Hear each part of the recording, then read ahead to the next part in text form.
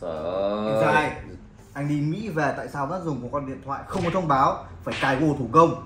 Bỏ đấy chúng ta đã có Sao mày lại đi vật ngược, ngược nó lại. Pixel Phone Đúng là khôi ngọng, không chỉ nói ngọng mà làm cái gì cũng ngược. Rồi Vâng thưa các bạn, hiện tại thì à, mình đang có đây là chiếc uh, Mic Fold 3 Thì con này mình sẽ làm một cái video sau cho anh em nha. Còn hôm nay thì mình đang có ở đây là Google Pixel Phone Con này thì khôi mượn của ai nhỉ? Ờ, anh uh, Sơn Pixel. Pixel. Vâng. Đấy. Nghe tên là đã biết rồi. Vâng sơn chấm điểm như thế này thì À. từng cái điểm pixel một. Con đúng này rồi. bao tiền? Cái một hai ba bốn năm Bao tiền? 6 pixel. Mày đùa bố mày à? Bao tiền? Đấy gì? Em quên mất chuột rồi đã. tiền để sau. Còn bây giờ tôi sẽ cảm nhận nhanh của mình về chiếc Google Pixel Phone cái điện thoại này bị chê rất nhiều cũng tương tự. Đó là về phần cứng. Các bạn nhìn đi ạ. Chưa gì đã lỗi gập màn hình rồi các kiểu rồi cũng tương tự như những con điện thoại kiểu Pixel trước đây mà đã từng gặp. 39 triệu 990 nghìn 40 củ. Trời ơi 40 củ. 40 củ cho một chiếc điện thoại mà nếu mà bị lỗi như thế kia thì khóc ra tiếng mán. Con này chúng ta là phiên bản đến từ Nhật Đây các bạn nhìn này. Bên trong có chữ tiếng Nhật luôn này Ê này mấy con pixel này các ông rất là, là hay lấy hàng Nhật nhá Kể cả ngày xưa mấy con như là 6, 7 anh mua thì đều là hàng Nhật. Thị trường Nhật ờ, hình như thị trường ờ, gần đây nhất là nó bán như vậy còn không là hàng Mỹ. Ờ, với anh nghĩ là có thể là giá bên đấy nó cũng tốt. Vâng. thì thì người ta mới mua ở đây chúng ta sẽ coi nha. Ở đây nó có hướng dẫn chúng ta là phải chăm sóc cái màn hình gập là phải tránh các cái vết nhọn cái tướng tinh. Và nó dặn chúng ta là không được bóc đi cái miếng dán màn hình sẵn của cái điện thoại gập. Sếp này sẽ biết điều gì không? gì? Cộng đồng người Việt Nam ở Nhật đã thân thiện hơn cộng đồng người Việt Nam ở Mỹ. Cộng Khôi bảo là cộng đồng người Việt Nam ở Nhật thì thân thiện hơn so với cộng đồng người Việt Nam ở Mỹ nên mà mua bên đấy. Vãi nồi. Nó có một cái hộp giấy ở đây xong rồi tao loay hoay bóc mãi biết bên trong nó có gì không? Còn cái nịt. Chào với mẹ gì hả? Nó làm cho cái hộp cho nó đầy hai bên thôi. Bà nội nó làm tao bóc khí thế xác nhận sử dụng. Bên trong này mọi người sẽ có một cái cáp sạc và một cái cáp chuyển USB-C sang ờ, cổng ờ, USB thường hết thế thôi không có củ sạc. Làm tôi bóc khí thế hóa ra nó làm cho nó cân đối rồi. Nào và đây là cảm nhận u pixel fold này nó nặng. Ui con này nặng đấy khôi ạ nó nặng. Em không biết đang cầm con mic 3 này. Các bạn thấy là mic fold 3 thì con này nó nặng hơn nó nó nó béo. Dạng bầu bầu thiên về chiều ngang không phải là thiên mỗi về chiều dọc. Đây các bạn so sánh một chút. Là đây là cái con uh, mi uh, mic fold 3 hiện tại mình đang có. Đây hai con form hoàn toàn khác nhau. Thì có thể nói rằng là với điện thoại gập thì chúng ta sẽ có đa dạng về thiết kế ngôn ngữ các thứ hơn so với lại cái việc là nếu như chúng ta rằng điện thoại thanh thì gần như đã có sự tương đồng bão hòa rồi. Đây các bạn nhìn nhá về cái độ dày thì các bạn nhìn đi. Con mic fold 3 nó cũng mỏng hơn ấn tượng hơn đúng không? Và ở đây các bạn nhìn này cái phần khít gập vào hai con cũng bằng nhau luôn. Khít khít khít đấy. Và cạnh viền này của con uh, Pixel Fold thì nó làm bóng kim loại bóng bóng loáng luôn. Cái cảm giác như kiểu anh em đang nhìn vào cái viền của cái con iPhone 14 Pro Max ấy. trông phải nói là cực kỳ là bóng bẩy mặt lưng thì cũng được làm nhám mờ để tránh bám mồ hôi dấu vân tay nhiều. Khi nó bám nhẹ thì có thể lau. À, các bạn sẽ có một cụm camera nó tách ra như thế này. Ở đây cũng là ngôn ngữ được sử dụng trên uh, con Pixel năm nay là Pixel mấy rồi nhỉ? Pixel 8 Pixel 8 ờ là cái cụm camera cũng được làm kiểu như này. Nhưng mà mỗi tội hiện tại chúng ta chưa có máy thực tế của Pixel 8 các bạn phải đợi khi nó bán rồi chúng ta mới biết nhá. À và cần gì đâu? Thì có hình trên mạng rồi. Apple show hết À Google show App, hết. ờ, Apple show hết hình của Google đấy. Tôi nói nha các bảo rồi thằng này khôi mõ mà này. Khôi nói mà. Rồi bây giờ tôi sẽ thiết lập con này để cho anh em xem nó như thế nào. Cảm nhận ban đầu của tôi là là là cũng được phết đấy. Nhưng mà để coi phần mềm mọi thứ ra sao. Rồi ok bây giờ tôi đã khởi động và thiết lập chiếc máy này xong. Ta hãy cùng nhau xem ở bên trong của nó nhá này. Sao chú tú thấy bên trong nó như nào? Anh chưa kịp thấy. Chả có gì bên ngoài. Cái gì bên ngoài. Anh có nếp gập rõ không? Ờ, rõ. Rõ hả? Em thấy rõ. Ờ để mình coi. Ui. Con con này mở ra nó không bằng phẳng nhìn đây này. Ừ. con này mở ra nó không cân. Con này mở ra là hai bên này bị cong nhẹ đây này nó không phẳng ra hoàn toàn. Đấy nếu các bạn nhìn kỹ đi. Đấy nó sẽ hơi cong nhẹ. Đây tôi, tôi cho các bạn con con uh, mic Fold 3 này. Này con này cũng có hiện tượng gần như tương tự như thế. Nó sẽ không gọi là phẳng 100% đâu. Nó sẽ hơi hơi cong nhẹ sang hai bên một tí. Đây để nó một mặt phẳng này. Thấy không? Có. Nó sẽ cảm giác là nó hơi cong nhẹ lên thấy không? Chuẩn bài luôn. Đấy đấy chính là cái điểm đầu tiên của con Pixel Fold này. Và cái uh, nếp gập bên trong thì ui eo ơi để này trông nó buồn cười lắm. Cái màn hình khôi ra đây cho coi này. Trông nó cứ hài cốt đấy. Đây này mày nhìn nhá.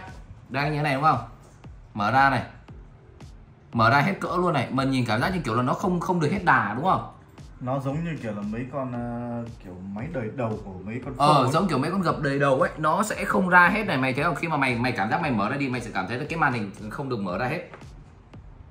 Nó do nó hơi đúng không? Do nó cong hai bên này. cảm giác nó kiểu nó vẫn hơi vinh vinh một tí ờ đấy. một quyển sách ấy. Còn còn còn cái này khác nha. Mày mở thử cái này. Mày mở ra làm cái khực một phát nó sẽ ra full luôn. Đúng không? Đúng rồi, cảm giác nó ra full luôn. Con này nhá nó không có cảm giác khi mở ra là nó khực một cái mà nó vẫn bị zip và khi đấy các bạn cảm giác kiểu là có cái gì đang giữ lại cho cái máy này nó không mở ra full. Đúng chuẩn rồi. À có thể là do đây này. Cái hệ thống gập. hai cái phần gáy này nó có thể chạm vào nhau này. Ừ, đây mình nha. có tạo ra một cái đây. cái hai cái phần uh, cạnh sau con này là nó sẽ chạm vào nhau nên nó nghe khực nghe nhá thấy không? Nghe tiếng này này. Đấy còn Đây, con này, này hai cái phần viền nó rất xa nhau. Này. Và nó thực tế nó không chạm được. Nghe này. Không có âm thanh đó. Và khi mà các bạn mở ra nó có một độ lì một độ lì độ trơ nó giữ chúng ta và các bạn nhìn cái phần gáy này nó gần như là không chạm chạm vào nhau. Đây là cái cái cách thiết kế về bản lề khác nhau thôi. Và bởi vậy khi nhìn vào màn hình con này thì các bạn sẽ thấy được là cái cái ờ, cái nếp gập cái bóng của nó ấy, nó phản xạ khá là rõ. Còn đây các bạn nhìn trên con này nó sẽ khá là khác nhau. Ờ, cái này cũng có thể do để hình nền nhưng mà đại khái ý là ngoài đời mình đã thấy nó có sự khác nhau rồi. Trên video thì anh em uh, tốt nhất là anh em có cầm ngoài đời anh em sẽ cảm nhận được rõ hơn. Rồi về cái màn hình của chiếc Pixel Fold thì các bạn cũng đã nhận ra là một trong những vấn đề là con này nó có một cái viền màn hình nó hơi bị dày. Viền màn hình của con Pixel Fold Ui rồi ủa nó dày.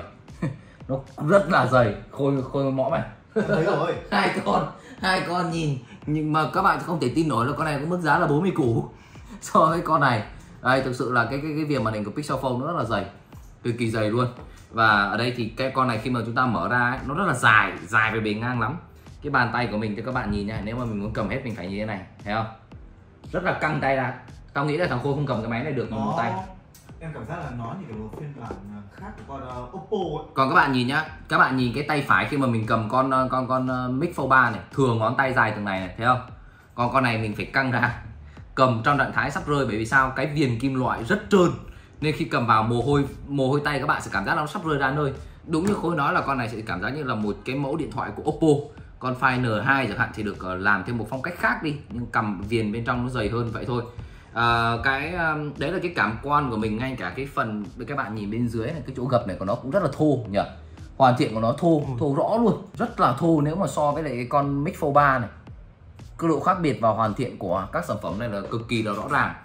Ờ, bởi vậy nên nó sẽ giống như cái trường hợp của con Microsoft Duo ấy. Cái phong cách làm của các hãng như Google và Microsoft khi làm phần cứng nói chung là vẫn khá là thua so với các cái hãng như kể cả từ Trung Quốc hay kể cả của Samsung các hãng khác là các hãng này thì hoàn thiện về phần cứng không ăn thua bằng. À, vậy thì điều gì để mà mua con Pixel Fold này? Thì có lẽ nó sẽ đến như là từ camera với uh, Pixel thì là quá nổi tiếng. Thứ hai là về phần mềm sự mượt mà ổn định. À, những cái thứ đó thì mình sẽ có thời gian để kiểm chứng và đánh giá cho các bạn kỹ hơn. Còn đây là một cái bài cảm nhận nhanh của mình. Tại vì tại sao mình đã xem con này rất kỹ rồi? Mình xem review của nước ngoài rất nhiều youtuber đánh giá chia sẻ nhận định chung thì họ sẽ thấy là con này còn rất nhiều vấn đề về phần cứng cần phải cải thiện ở các thế hệ sau. Lần đầu tiên Google làm thì mình nghĩ sẽ còn chấp nhận được. Và một cái nữa khi bạn nhìn khi mà mình để như này nhá khi mà mình gập vào đó, cái nếp gập và cái hiệu ánh sáng còn lộ rõ hơn đúng không tú? Đúng, luôn. khi đang để như này nhá không sao nhé khi gập vào bắt đầu còn lộ rõ hơn nữa kìa. Ừ. thấy không? Cực kỳ rõ luôn. Còn nếu mà giờ chúng ta so sang xem con này. Đây con này nhá khi mà mình gập vào cảm giác nó vẫn thế nó không có sự khác biệt quá lớn giữa cái việc khi chúng ta mở hay chúng ta chưa mở. Đấy. Nhưng mà riêng với con này nhá khi chỉ cần các bạn gập nhẹ vào một cái thôi là các bạn sẽ thấy đấy thấy chưa? Thấy chưa? Bây giờ cong hẳn này. ừ. đấy thì uh, gì? sẽ mua Microsoft Duo không còn nếu bây giờ bán uh, thế hệ đầu rẻ phết hàng cũ. 19 triệu. Rồi, đây là cái cảm quan nhanh của mình về thiết kế mọi thứ của Pixel Fold. Bài review chi tiết mình sẽ ờ, cảm nhận và đánh giá kỹ hơn cho các bạn. Cá như mình nếu mà dùng mình sẽ dùng con này theo phong cách này thôi, không cần phải mở ra, nó đủ to rồi. Nhưng như vậy thì đâu có ý nghĩa với điện thoại gập. Nghe cái sai sai ấy. Và các bạn có thể xem kênh của Khôi Mõm. Mõm ờ, Khôi thì sẽ là một bài đánh giá hiệu năng tương tinh. Mà con này, đánh giá gì đâu con này chip của nó cũng là cái chip uh, chip G2. cũ, cũng không được cái chip Tensor G3 mới rồi. 40 củ cho con này thì có hợp lý không nhỉ?